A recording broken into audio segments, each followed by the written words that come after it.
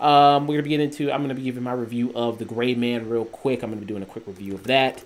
Uh, the Gray Man, uh, which is the new Russo brothers film, uh, which is a which it got a limited release uh, in theaters this week. Um, you can only kind of find it in a couple of places. It's gonna be coming on Netflix next week. Um, and it has a star-studded cast, as most of these kind of big Netflix movies do. Uh, here you have Chris Evans, Ryan Gosling, Ana de Armas. Um, it, this film is about Ryan Gosling, um, who plays um, a character just kind of assassin, uh, you know, referred to as Six, uh, Sierra Six, which is kind of his call sign in this. Um, he gets recruited out of prison um, to work for the CIA by Billy Bob Thornton's character. Uh, and he starts to kind of go on these different missions working for the CIA. Eventually, he starts to learn information that he isn't supposed to learn, and that requires them to kind of hunt after him and kill him. Uh, one of these people leading this manhunt is Chris Evans, uh, who is plays a character called Lloyd in the movie, who is another psychotic assassin himself. Um, so the budget on this movie um, is two hundred million dollars. Um, it mm. goes into another thing with these Netflix movies, just like with Red Notice, where they, you know, Netflix writes a big check uh, for a lot of these things and basically just says, "Hey, get a get some big stars and shoot something, um, and let's see if we can attract a big viewership from it."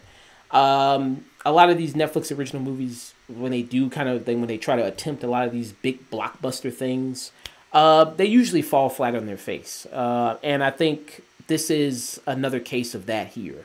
Uh, you know, you know, just like how I kind of felt about Red Notice. I said this about these Netflix movies. It kind of feels like they do them in a, like an algorithm, you know, where it's kind of like they they kind of spin a wheel and they type in the data. Um, where they kind of gotta go like, okay, who's kind of the biggest, some of the biggest stars right now? It's like, oh, okay, Chris Evans, he's really big. Captain America, Ryan Gosling, he's really big. Ana de Armas, she's really hot right now. She's, you know, the kind of a great, sexy leading lady right now who's very, very good. You know, who can we kind of throw into a movie in in, in, in these kind of movies? Um, and who's kind of a big time director can we come to do this? Um, yeah, I mean, Russo brothers, you know, MC work, things like Infinity War, things like Winter Soldier uh, you know, making hugely kind of popular films like that. Um, when it kind of comes to this movie, it's generic, and generic doesn't always have to be a bad thing if you can just wow people with the action, with the effects, with the performances. Um, here you have some big action set piece. Some are entertaining, but also it's also you just don't really care about any of the characters or really what's going on. At least I found myself not doing that so much. Um, some are just you know, no personality at all. Um, even when you have a case like, let's say, John Wick um, with those movies, those movies can be, I mean, the, it's a simple premise, right? Guy, dog gets killed, he wants revenge. Very, very simple.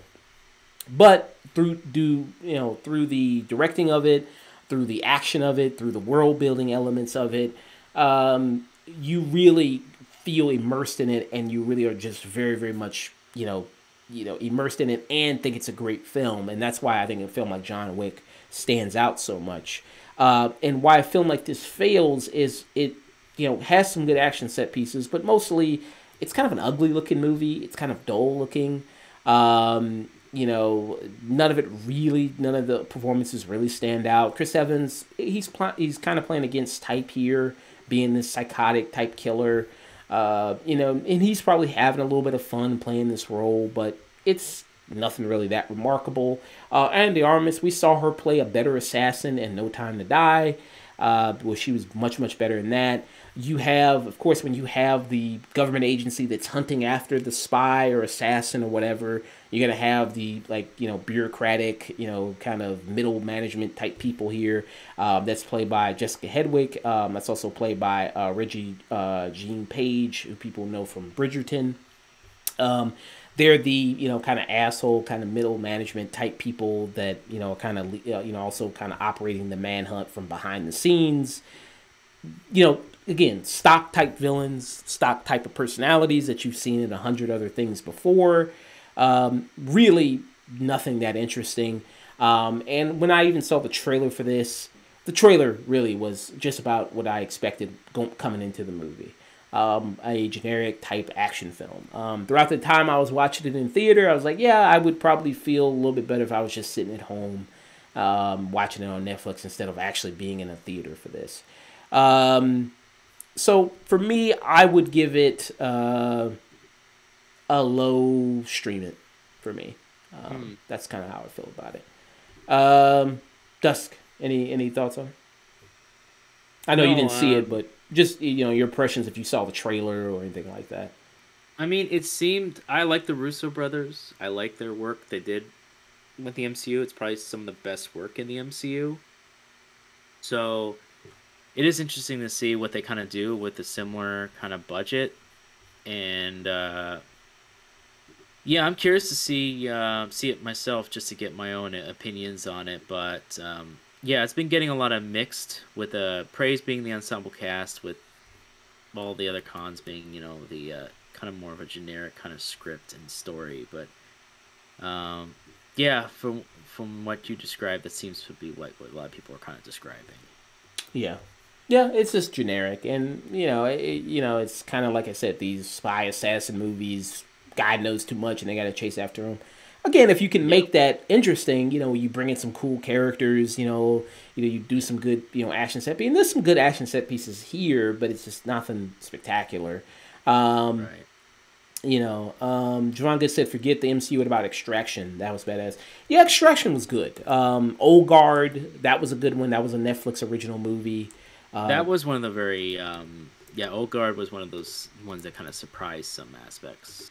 It was a little bit different. Yeah, um, it's also the extremes of the spy genre. There are ones like the super extreme, where taking its time, like Tinker Tailor Soldier Spy, or like that's like the exact opposite of like James Bond, where it is so slow, so methodical. Yeah. Uh, it's it's like there's a lot of different avenues it's like more close, I guess, to what actual spy work is, you know. Yeah. Uh, but I don't know. That's that's kind of fucking boring. I don't think yeah. people want to no, see no, no. Like, no, I know. So like Tinker Tailor Soldier Spy is one of those like, oh, it's very well done, it's very well acted. Slept as like I fell asleep through half of it. Yeah. Like just one of those like you're just gonna you need you need like a clap sound effect, loud sound effect to go like halfway through, every like quarter. All right, keep awake. Yeah. Yeah, yeah. I, I, I mean, it's it's about what I expected from yeah seeing the trailer yeah. and everything like that. Um, you know, yeah, that's yeah. I mean, it's just like you could just sit at home, watch it on Netflix, yeah, and and maybe get some good enjoyable moments out of it, and that's about it. Um, all right, so we're gonna be moving on from discussing uh, the Gray Man